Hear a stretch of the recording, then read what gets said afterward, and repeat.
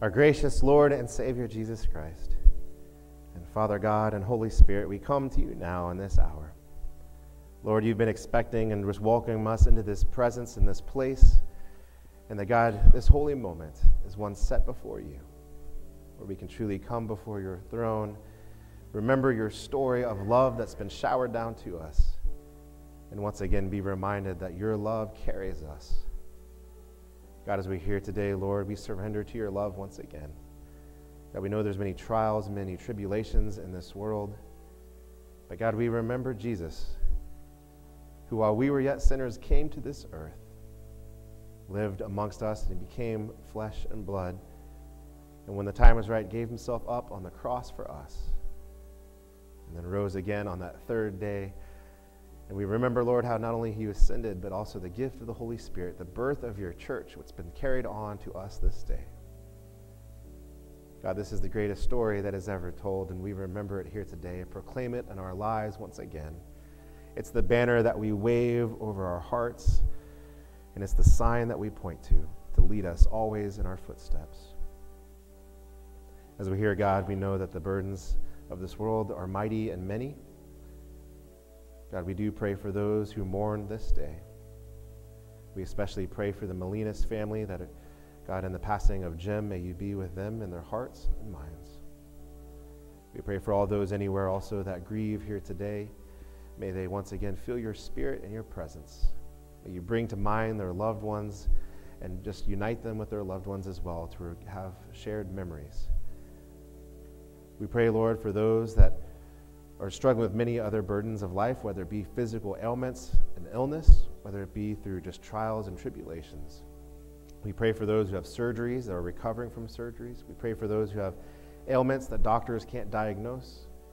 We pray for those who have been given timelines in their life and have to choose how best to spend these days.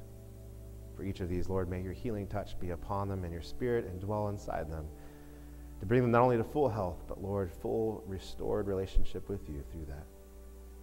God, we do pray for those, Lord, who are just struggling in this world, whether it be through finances, whether it be through trying to find food or work with their hands to provide for their families. We pray for those who are just lonely and isolated. We pray for those who are fearful. We pray for those who just are filled with anxiousness and anxiety. We pray for our world, Lord, and the violence that we see in it, whether it's here on U.S. soil, that God has broken our hearts, or whether it's across the world through people, Lord, who are having to flee from their homes. God, we pray for peace. We pray that you'd make us instruments of peace. We pray for the world's leaders that you would lead them in ways of peace. Convict hearts where you need to. And Lord, give words to those who would stand against oppression and to have all the right assets in their tool belt, Lord, to help make sure that every single person is given that gift of life and is a treasured possession on this earth. We pray for those refugees that are still fleeing from homes all around the world. We pray for those people, Lord, who have lost their home or lost their loved ones, never to see them again. God, we pray for our first responders and our military service, of those men and women who put their lives on the line to do good work. May you bring them home safely and protect them on this day, they could be with their family again. God, we pray for your church and the many leaders that represent your church across denominations in the world. Help us, Lord, to continue to listen to your voice, hear your spirit, and once again build this kingdom together.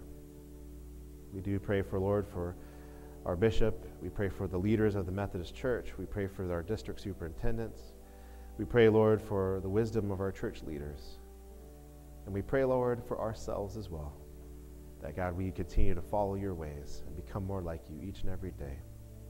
May be with these prayer requests that come before your altar every Sunday as we faithfully listen to you. May you be with those who come to receive a special touch. May, Lord, you bless their life and give them the desire of their hearts. That, Lord, you may know, they may know that is, that you are with them. Finally, God, we pray that prayer that marks us as your followers, and so we pray together. Our Father, who art in heaven, hallowed be thy name. Thy kingdom come, thy will be done, on earth as it is in heaven. Give us this day our daily bread, and forgive us our trespasses as we forgive those who trespass against us. And lead us not into temptation, but deliver us from evil. Thine is the kingdom, and the power, and the glory forever. Amen.